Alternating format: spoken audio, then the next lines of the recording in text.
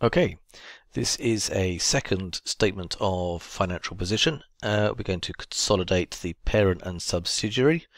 Let's just quickly look at the details. The parent acquired 100% of the subsidiary on the 1st of January 2010 or something 10. Um, this is a follow on from the previous video. Uh, we have here retained earnings uh, at the date of acquisition uh, and then this is a year on now. We have another year's worth of uh, earnings, 31st of the 12th, the following year, 2010, and we can see we've earned more for in each uh, each company from or since the date of acquisition. So things to note is that the investment in the subsidiary by the parent, 20,000, is equal to the equity shares and the retained earnings at the date of acquisition. So those two figures should all add up, or those three th figures should all add up. Uh, and then, as I said, since then, we've earned another 10,000. So let's just quickly do the uh, consolidation. Uh, the investment in the subsidiary we ignore, we know this. Uh, we add the other assets, P plus S, parent plus subsidiary. So they are simply added across to give 97,000. Uh, again, this is a year on from the previous balance sheet in the previous video.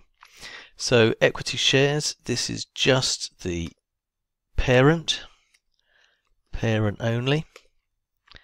Uh, now, what retained earnings do we put in the consolidated balance sheet? Uh, we put in the retained earnings of the parent and we need to put in the retained earnings earned this year uh, from both the parent and subsidiary, but not this 10,000 here.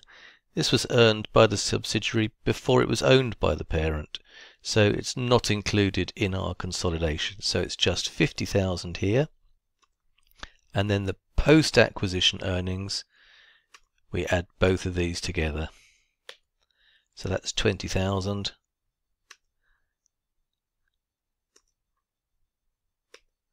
Add those up. That doesn't look like it's correct.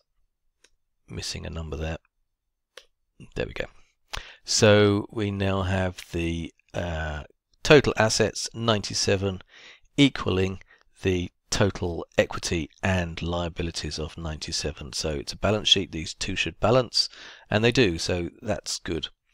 Uh, let me just complete this. So the retained earnings at the date of acquisition, we only include the parent. And then the post-acquisition earnings, uh, it's 100% ownership. There's no non-controlling interests. We'll look at that later. Uh, so it's parent and the subsidiary added together, just a straight adding across. Uh, 10,000 plus 10,000 for the year gives 20,000 post acquisition earnings. So this is all uh, post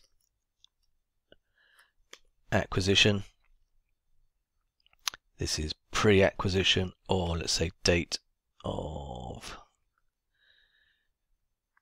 acquisition.